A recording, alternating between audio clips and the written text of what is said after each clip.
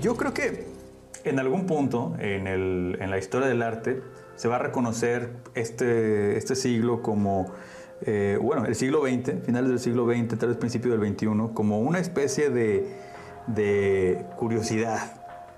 Em, en el, una, especie de, no, no podría decir bache, pero eh, un espacio en donde se dieron fenómenos curiosos acerca del arte.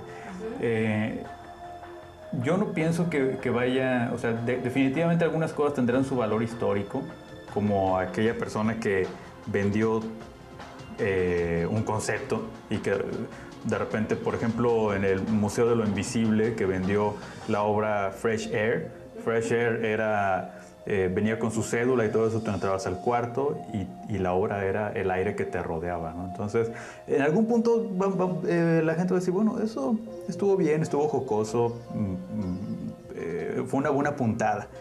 Pero de eso a que tenga otro, otro valor, quitando lo, lo, lo histórico, este, lo dudo, lo dudo mucho. Mira, el arte... El aire. Eh, eh, exacto, exacto. Porque mira, eh, finalmente el artista conceptual lo que quiere es provocar una reacción y en base a, a esa necesidad de provocar reacciones, se escudan en eso para hacer cualquier cantidad de cosas. O sea, eh, si tú entras a una galería y hay un boxeador que te, está, que te golpea en la cara en cuanto entres, te vas a enojar. O sea, Oye, ¿qué hiciste? Me acabas de golpear. Y van a decir, ah, pero provoqué una reacción, te enojaste provoqué una reacción en ti, eso es lo que yo estaba buscando.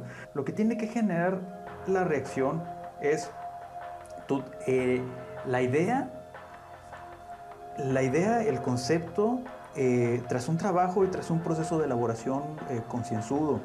Este, y sobre todo lo que comentábamos, esta cuestión de transformar, este, el hecho de estar transformando la materia y poder ir en busca de la belleza mediante esto, te da como resultado el arte cuando, cuando, esto tiene idea y cuando es producto de algo consciente.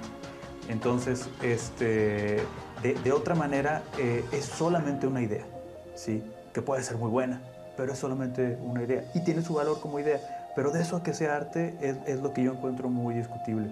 Toda esta cuestión del arte conceptual se está saltando un montón de cosas que, que son inherentes a cada obra de arte, ¿no? como la armonía, el, eh, el equilibrio, eh, el contraste, eh, todo eso no existe en Fresh Air, definitivamente, ¿no?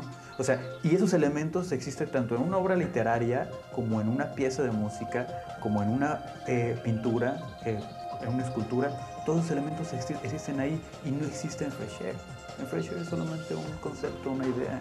Finalmente yo tengo la teoría que toda esta cuestión del arte conceptual es producto definitivo de, de, la mercadotecnia del siglo XX y de la especulación en el arte este, y oferta y demanda.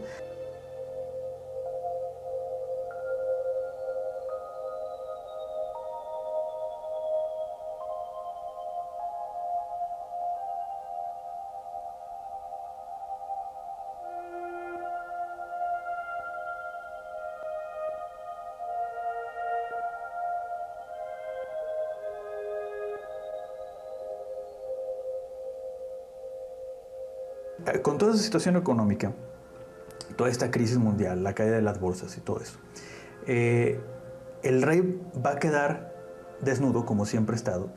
Una vez que, te des cuenta que eh, del verdadero valor del arte, pues ya te la vas a pensar para gastar 10 mil dólares en Fresh Air. Eh, yo creo que va a llegar un punto en el que esto se va a separar. se va a separar y, va a decir, bueno, esto es, es una categoría de, de expresión, y esto es otra categoría de, expresión, no sé.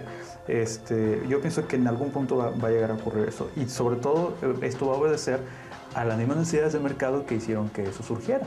Este, al contraerse y al haber menos dinero, este, va a poner todas las cosas en su lugar y, va a, a, traer, le va a dar el, la dimensión eh, correcta al trabajo, al trabajo verdadero, al trabajo real.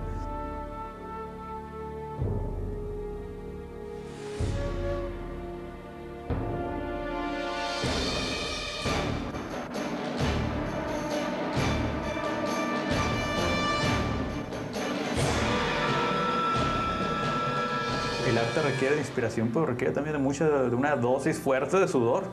sí, y de disciplina, sí, o sea, son ocho horas diarias. El, el arte conceptual, como lo comentábamos, eh, este, este traje que lleva que lleva el rey que va caminando desnudo y todo eso. Y, y todo el mundo lo ve, pero si dices, oye, el rey va desnudo, te van a decir, eres un ignorante, eres un retrógrada. Se van a, se van a ir los críticos sobre ti. O sea, y te, te van a decir que, que eres, te van a crucificar, ¿sí? Y yo lo digo sin ninguna pena y sin ningún empacho, la verdad. O sea, este, creo que, eh, como te había comentado, en el mejor de los casos es una buena broma.